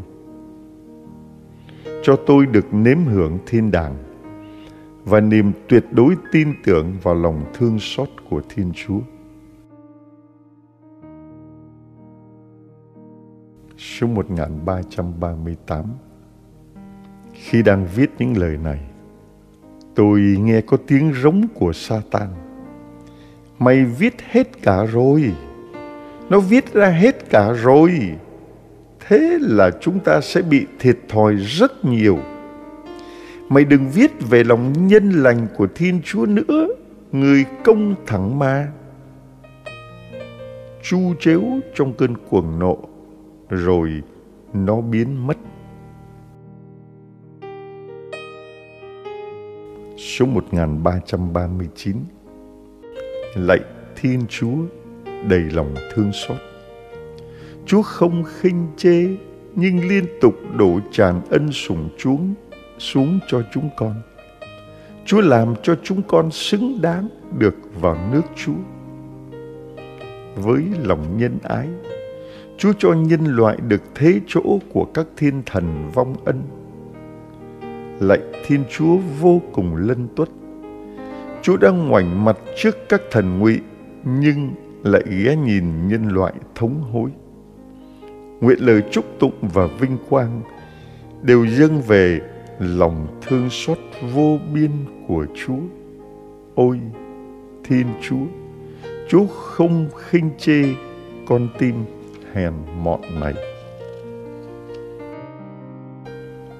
Thưa anh chị em và các bạn, chúng ta vừa cùng với nhau đọc qua trang nhật ký lòng thương xót Chúa nơi linh hồn tôi của thánh nữ Faustina từ số 1325 đến số 1339. Đọc trong số 1325. Ta thấy Thánh Faustina cầu nguyện với Chúa. Với từng nhịp đập của con tim, con muốn ngợi khen lòng thương xót khôn giò của Chúa. Ước chi mọi sự trong con đều ca ngợi Chúa. Và Faustina nói rằng là con muốn nói cho các linh hồn biết về lòng nhân lành của Chúa và hãy khuyến khích họ và khuyến khích họ hãy tín thác vào lòng thương xót của Chúa. Và Faustina xác tín rằng đó là sứ mạng mà Chúa đã ủy thác cho mình ở đời này và đời sau. Khi đọc đến đây, tôi thấy chính bản thân mình hoặc một số anh chị em đang đi vào con đường lòng thương xót cũng có cái lòng khao khát đó. Lòng khao khát đó ngay cả những người ngoại đạo là muốn cho các linh hồn biết về lòng nhân lành của Chúa và khuyến khích họ tín thác vào lòng thương xót của Chúa. Và mình làm điều đó, mình xác tín rằng, tôi xác tín rằng đó là sứ mạng mà Chúa trao cho tôi. Sứ mạng mà Chúa ủy thác cho tôi ở đời này và cả đời sau nữa. Cho nên Chúa đã nói với Faustina rằng là sứ mạng của con không chấm dứt ở đời này, nhưng kéo dài cả đời sau trên thiên đàng nữa. Giờ đây, trên thiên đàng, Thánh Đức Faustina vẫn đang đồng hành với chúng ta. Vẫn khẩn cầu cùng Chúa cho chúng ta, những con người đang khao khát nói cho mọi người, khuyến khích mọi người tín thác vào lòng thương xót của Chúa. Mà tín thác vào lòng thương xót Chúa thì có mất mát gì đâu, có thiệt thòi gì đâu. Không những thế mà còn lợi, lợi gấp trăm, lợi gấp ngàn Giữa những khó khăn thử thách người ta lo lắng, người ta bối rối, người ta hoang mang. Còn mình tín thác vào Chúa, mình được sự bình an sâu thẳm. Bình an như là con thuyền giữa sóng gió. Có Chúa nằm trên ván véo mà ngủ. Con thuyền vẫn sóng gió, nhưng các tông đồ, nhưng chúng ta nếu tín thác vào Chúa không hoảng hốt thì vẫn bình an. Người ta hoảng hốt còn ta được bình an đó là cái ơn lớn vô cùng và chính vì thế mà ta muốn nói cho mọi người hãy tín thác vào Chúa để được cái sự bình an đó vì tôi đã được bình an như thế và có số 1326 Faustina nói rằng là biết Chúa bao nhiêu còn yêu mến Chúa bấy nhiêu cho nên mỗi ngày mỗi khám phá ra lòng thương xót của Chúa khám phá ra Chúa tuyệt vời bao nhiêu thì mình càng yêu mến Chúa bấy nhiêu. Vì vậy mà việc học hỏi lời Chúa, học hỏi về sứ điệp lòng thương xót Chúa, học hỏi về nhật ký lòng thương xót Chúa là điều rất cần thiết vì ta càng học, càng hiểu, càng biết về Chúa bao nhiêu thì mình yêu mến Chúa bấy nhiêu. Ta gọi là vô tri bất mộ, không biết thì không yêu mến. Càng biết bao nhiêu thì càng yêu mến bấy nhiêu. Hai người yêu nhau cũng thế. Mình chỉ có thể yêu nhau được khi mình đã tìm hiểu và biết về người đó như thế nào. Và khi đã yêu rồi, ta càng biết về người đó bao nhiêu thì ta lại càng thêm yêu người đó bấy nhiêu. Nguyện Thánh Ý Chúa được thể hiện trọn vẹn nơi mỗi người chúng ta. Và đó là điều mà trong số 1327 Chúa nói với Faustina rằng là, sát bên trái tim từ ái của ta, con sẽ suy ngẫm tất cả những hồng ân mà tâm hồn con đã được lãnh nhận và một niềm bình an sâu xa sẽ đồng hành với linh hồn con. Hãy nép mình bên trái tim chúa để ta suy gẫm, suy ngẫm, điểm lại tất cả những hồng ân mà ta được lãnh nhận. Lúc đó, tâm hồn ta mới được bình an và Chúa nói với Faustina và nói với mỗi người chúng ta ngày hôm nay là ta muốn mất linh hồn con hãy luôn nhìn cắm vào thánh ý ta. Bởi vì trên con đường ấy con sẽ làm thỏa lòng ta nhất. Nhìn cắm vào thánh ý Chúa, chỉ chăm chú chuyên chăm thực hiện thánh ý Chúa, đó là điều mà Thiên Chúa thỏa lòng nhất. Không hy sinh nào có thể sánh với điều này không hy sinh nào có thể sánh với việc là luôn chu toàn thánh ý của Chúa trong cuộc đời của mình. Chúa sẽ an bài trọn vẹn cuộc đời của mình hợp với thánh ý Chúa. Chúa sẽ an bài trọn vẹn cuộc đời của mình hợp với thánh ý Chúa. Vậy thì mình lo lắng gì nữa? Hãy ở bên sát bên trái tim Chúa, tìm kiếm thánh ý Chúa mà thực hiện để được bình an Thưa anh chị em, lời cầu nguyện của Faustina ở số 1331, ta thấy Faustina xác tín rằng là chính Chúa đoái thương đặt nền móng sự thánh thiện cho con. Vì sự cộng tác của con đâu đã có gì. Chính Chúa đã dạy dỗ con đừng coi trọng việc sử dụng và chọn lựa những tạo vật. Bởi vì trái tim con tự nó rất yếu mềm và Faustina xin Chúa là đừng lưu tâm đến nỗi đau của con mà hãy chặt phăng bất cứ những gì có thể kìm giữ con xa cách nẻo đường tình yêu. Chặt phăng tất cả những gì làm cho con xa cách thì Chúa đi. Kệ, con muốn đau gì thì đau. Đừng lưu tâm đến nỗi đau của con. Những ham hố, những ham muốn, những tham sân si của con. Cắt đi, có khi nó đau lắm nhưng mà xin Chúa cứ cắt nó đi, đừng lưu tâm đến những cái đau đó. Vì con không hiểu Chúa trong những thời gian sầu khổ. Lúc mà ta đau khổ, ta không hiểu được Chúa. Tại sao Chúa lại để con, chuyện đó xảy ra? Tại sao Chúa lại cắt phăng đi tất cả những cái mà con thích, con muốn, con ham, con khao khát? Cho nên ta không hiểu Chúa trong thời gian sầu khổ. Xin Chúa thực hiện công việc của Chúa để ngày hôm nay khi mà hiểu được ta vui mừng trong sự thông dong của tâm hồn. Ồ bây giờ tôi hiểu rồi.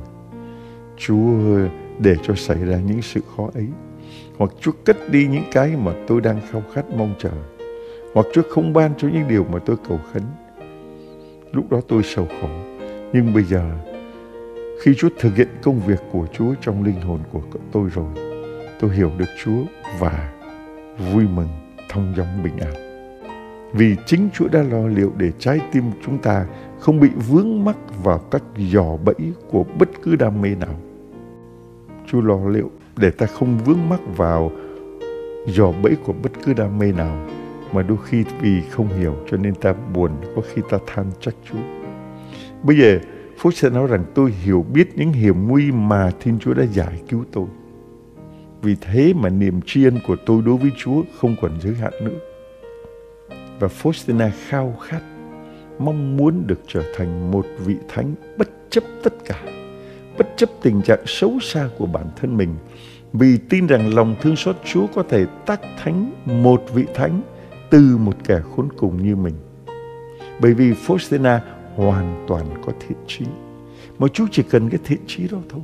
Tôi khao khát nên thánh, tôi mong mỏi được nên thánh.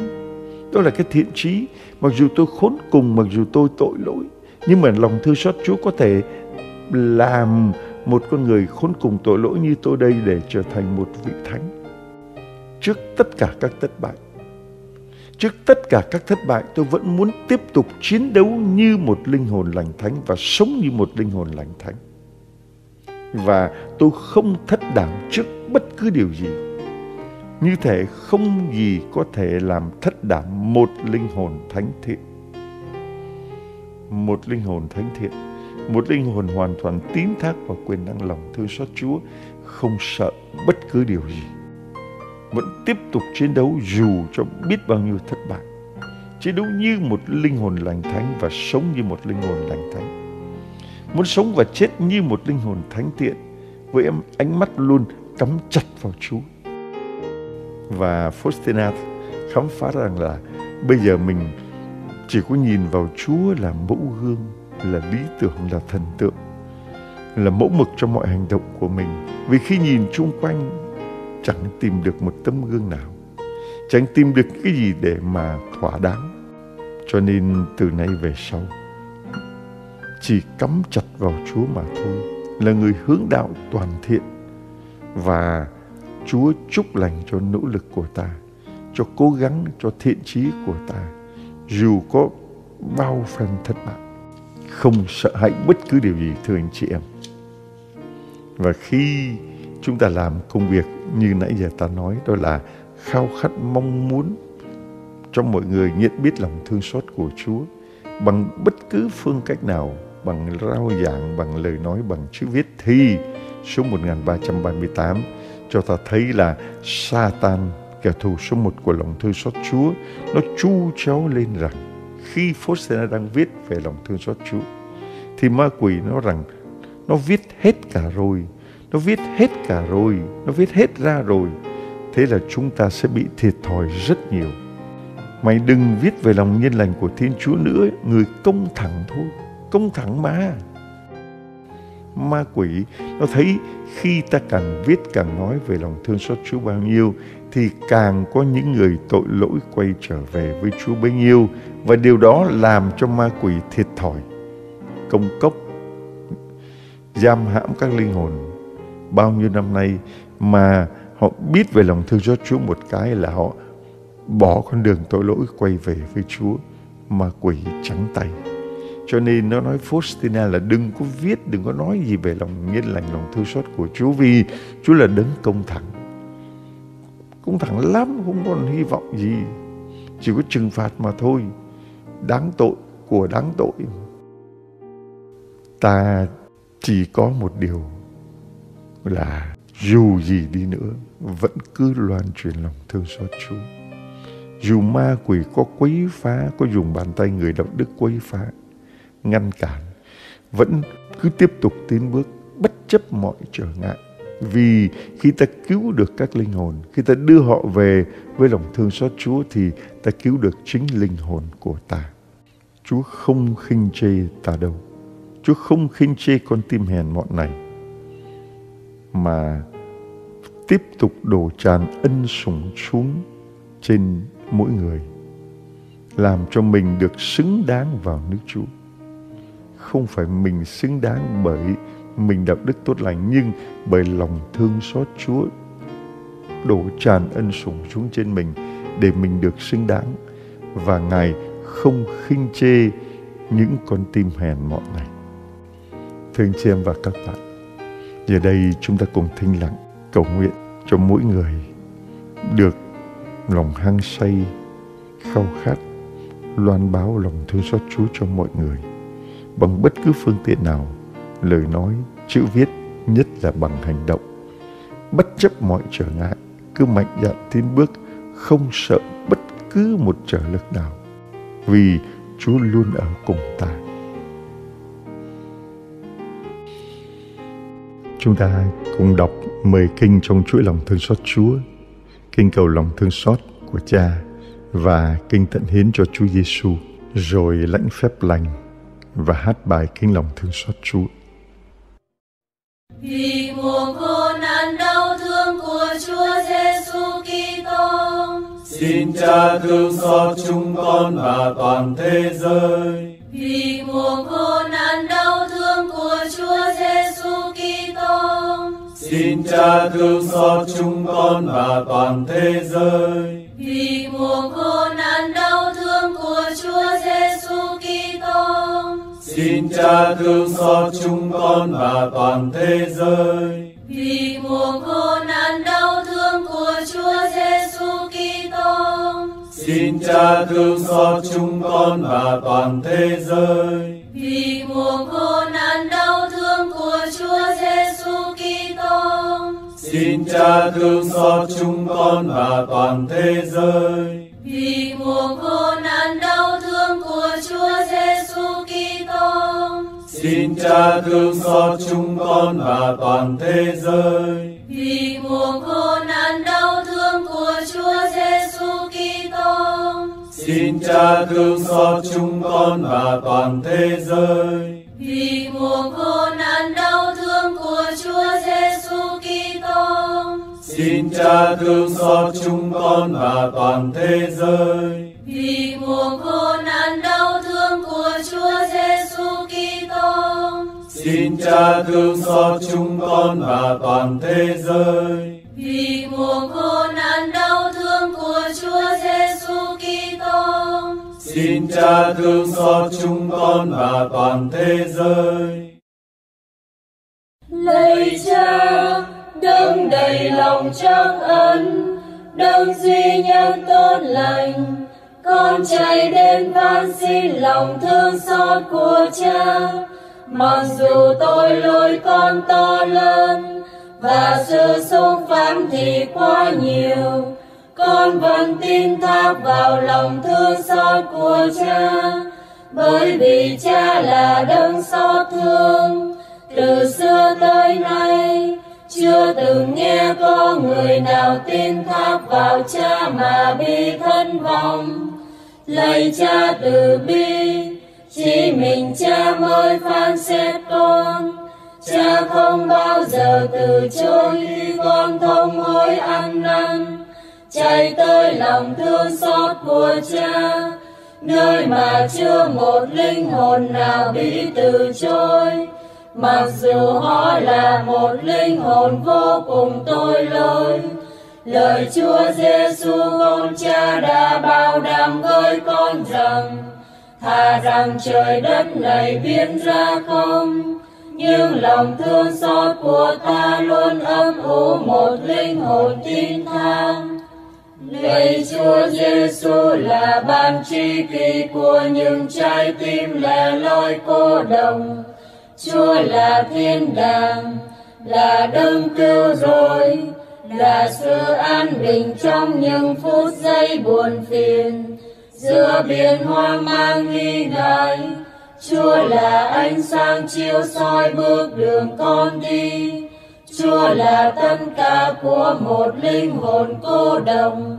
Chúa biết sự yêu mềm của chúng con và giống như một danh y tôn Chúa an ủi và chữa lành những đau đớn của chúng con. Amen. Lạy Chúa Giêsu, từ nay chúng con xin hoàn toàn tận hiến cho Chúa. Trong bàn tay từ ai Chúa, chúng con dâng hiến trọn vẹn quá khứ hiện tại và tương lai của chúng con, lạy chúa giêsu từ nay xin chúa hãy săn sóc, bảo vệ chở che gia đình của chúng con. Xin giúp chúng con trở thành những người con ngoan hiền của chúa. Và của mẹ Maria rất thành mẹ chúa, qua diện mạo của chúa đây, xin lòng thương xót của chúa chiến thắng mọi thế lực ác thần trên thế gian. Xin cho những ai khi sùng kinh lòng thương xót của chúa sẽ không bị hủy diệt. Xin lòng thương xót của chúa trở thành niềm vui của họ là niềm hy vọng trong lúc sinh thì và là vinh quang của họ trong cuộc sống vĩnh hằng chúng con cầu xin nhờ đức Kitô Chúa chúng con Amen. Chúa ở cùng anh chị em. và ở cùng cha Xin Thiên Chúa toàn năng là Cha và Con và Thánh Thần ban phúc lành cho anh chị em. amen Chúc anh chị em luôn được bình an. tạ ơn chúa Hẹn gặp lại anh chị em ngày mai trong nhật ký lòng thương xót Chúa nơi linh hồn tôi của Thánh nữ Faustina.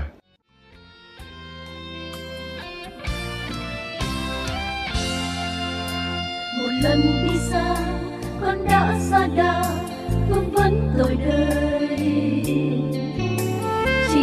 ham vui, con đã quên đi là mình có lỗi. Phần người đam mê sao quá ê chê vương vấn tội đời. Bỏ lại sau lưng quá khứ đau thương là mình đắc tội.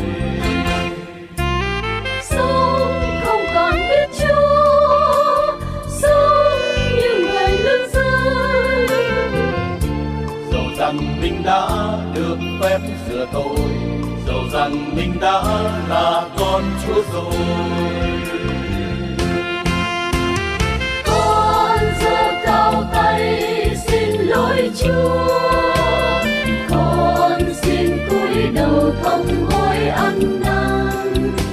Đời con bao phen đã xa đi lòng trái đau.